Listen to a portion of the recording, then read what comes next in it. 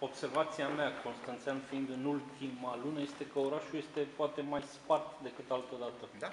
Și poate ne dați o explicație pentru asta?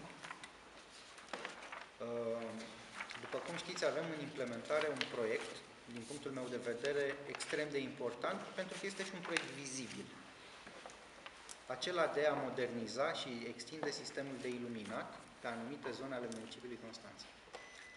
În momentul de față, săpăm în tot orașul pentru a introduce o nouă linie de tensiune în vederea iluminatului public, stâlpi noi, pentru că acestea sunt condițiile tehnice impuse de avizator, de către Enel.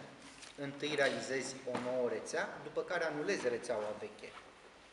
Da? Nu puteam să operăm cu cablu existent și să înlocuim, să cârpim, pentru că ar fi fost în afara reglementărilor dânșilor.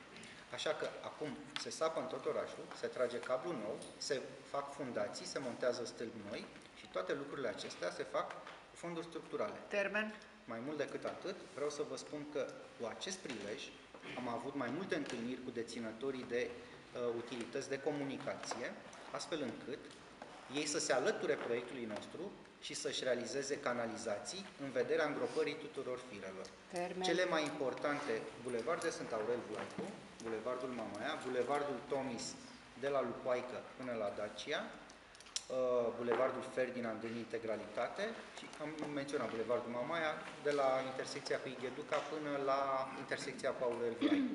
De asemenea, intrăm și în cartierele Baba Novac, compozitori, uh, două străzi din uh, veterani, prelungirea, prelungirea Meșterul Manole și Hadman Arbore și în Palazul Mare.